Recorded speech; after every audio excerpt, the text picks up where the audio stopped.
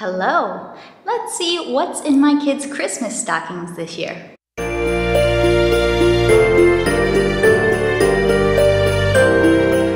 Do you have any traditional items that always end up in your stockings? Go ahead and leave me in the comments below. What's one just traditional item that always ends up in the stockings? For me, it is toothbrushes. There always has to be toothbrushes in the stockings and I don't actually, I haven't actually purchased the toothbrushes yet so you won't see them. I'm hoping, I'm trying to find some light up toothbrushes. My boys have had those before and they really are very exciting to have, you know, light up toothbrushes. We'll see if I end up finding those this year. But I'm gonna show you what I do have for their stockings, talk a little bit about our traditions, Let's get started. This is in collaboration with Yasmine from the channel Mommy on the Move, and she's gathered several homeschool moms to share our stocking stuffer ideas for this year, and I hope that you enjoy. Okay, I have three-year-old and four-year-old boys, and this is not everything that will be in their stocking. Like I already mentioned, the toothbrushes still need to be acquired, and I also typically wait um, as long as possible on getting the food items because we just live in a really hot place and storing candy doesn't seem to work as well. Um, work super well. There can be a little bit of melting or just getting sticky. My husband did pick these up. These are gummy Legos. I do think there was a little bit of a mistake though. I think he should have gotten probably two. Two would be a good thing. When you have two children pretty close in age, you often end up needing to get repeats of some items. But these are like Legos that are gummies. Um, but besides that, for food items, we'll always pick out a candy or two. We always include juice boxes for a fun and special treat. And I'll probably include some Pocky sticks, that um, Japanese snack. They're like sticks covered in chocolate. That's a nice special snack for my boys. Now let's talk about the activities. I like to do a mix of some craft activities, some kind of practical, semi-practical items, art supplies. So here's what we got.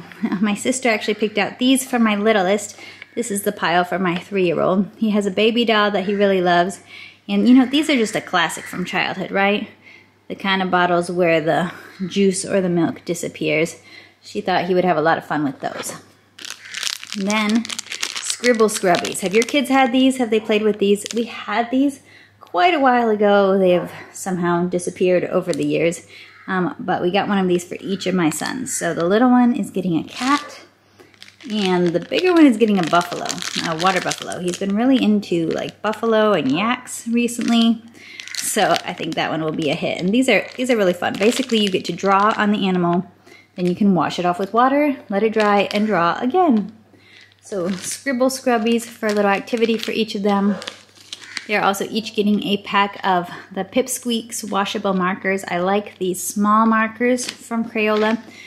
I had a set from like five years ago and I've been gradually throwing away the markers because they've been drying out.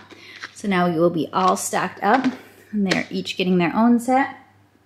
And then these, okay, you're gonna, this might seem really weird, but this is the one that I kind of got emotional getting out when I was getting out their um, stocking stuffers but stretchy noodles. And I believe we find these at Target. I'll try to link everything down below as much as I can find on the internet. Stretchy noodles. They're basically like stretchy elastic band things that you can stretch and twist and tie and play with. My um, grandma suffers with uh, advanced dementia, and we spent a lot of time with her this summer. My aunt had bought these for her as kind of a little a little toy that she could play with and just an activity for her during the days.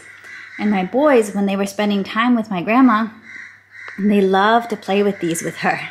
They loved to, you know, um, swing them around, to pull on them, uh, and watch her reactions and their reactions as they played with these. So um, I, I hope that when they see these, they'll remember their time that they got to spend with their great grandma this summer. So uh, surprisingly emotional silly little toy. Then for my oldest, he's old enough to do some more like actual crafts. So we got him this paint your own wooden dinosaurs kit. And there's three of them, so that's great. It's not just gonna be a one and done. Although he might do all three in one setting, knowing him. Then dinosaurs are a bit of a theme with him. Got him some dinosaur band-aids. I should probably get another box of band-aids for my little guy. They go through band-aids throughout the year, that's for sure. and new goggles. I was able to get these on clearance for looks like about $3. Kids goggles. Um, goggles are something we use quite a bit here in our tropical home and a pair just, it doesn't last forever. Eventually the elastic goes out. So these will be able to replace his current pair, which is kind of stretching out and getting harder to use. And then this one I'm really excited about. I grew up sewing all the time. It's still my favorite craft. I've introduced him to some types of yarn and sewing crafts a little bit. This is gonna be a little advanced for him. It says six plus. It does have a sharp punch needle. I've never done punch needling myself, but look, it's a dinosaur. So, you know, I had to, had to get it. Um, a punch needle dinosaur craft kit. This was from Michael's, where we picked it up. I'll, I'll see if I can link something similar. But I'm gonna get to learn how to do punch needling together with him. He does have a lot of patience, I would say, for handicrafts. I'm excited to have this. So this is what we were going for. A couple of crafts, activities. For my little one, not so much in the crafts section because he's just kind of too little to totally understand crafts, but he did get some art supplies and toys.